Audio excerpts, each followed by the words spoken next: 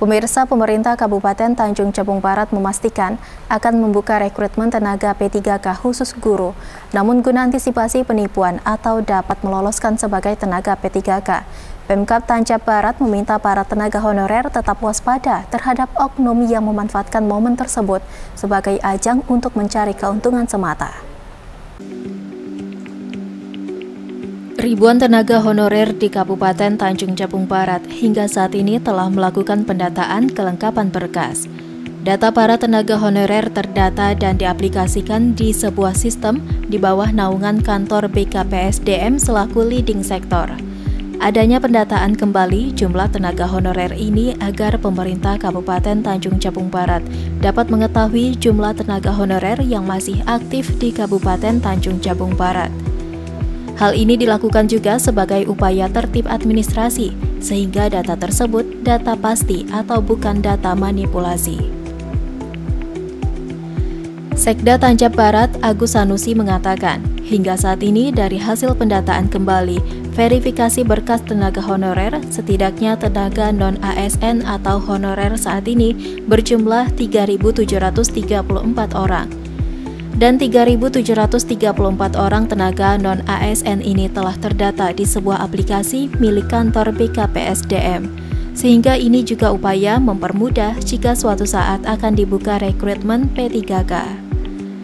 Meski diakui Sekda bahwa Tanjab Barat membuka rekrutmen P3K khusus tenaga guru pada tahun ini, sebab tenaga guru sangat dibutuhkan selain tenaga lainnya mengingat setiap bulannya terdapat puluhan guru memasuki masa pensiun.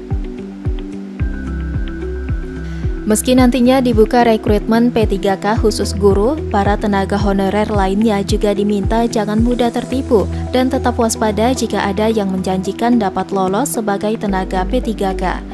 Sebab hingga saat ini jadwal pembukaan penerimaan P3K belum terjadwal.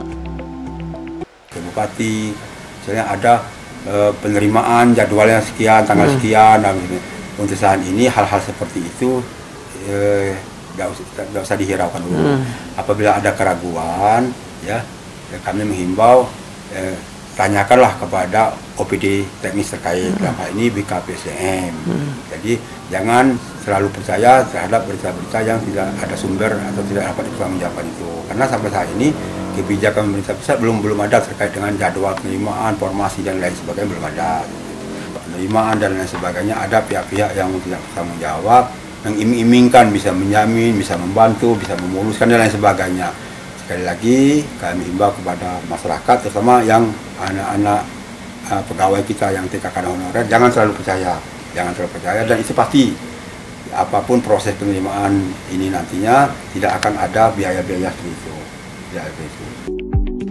Meski demikian, Agus Sanusi meminta kepada 3.734 orang tenaga honorer yang ada untuk tetap bekerja maksimal sesuai tupoksi. Sebab jikapun ada rekrutmen P3K tenaga teknisi lainnya, ia memperjuangkan tenaga honorer yang ada dapat ikut tes, bukan melainkan terbuka untuk umum rekrutmen P3K. Sebab tenaga honorer juga telah pengalaman pada bidang yang ada saat ini atau sesuai latar belakang pendidikan mereka. Surya Kurniawan, Cek TV, melaporkan.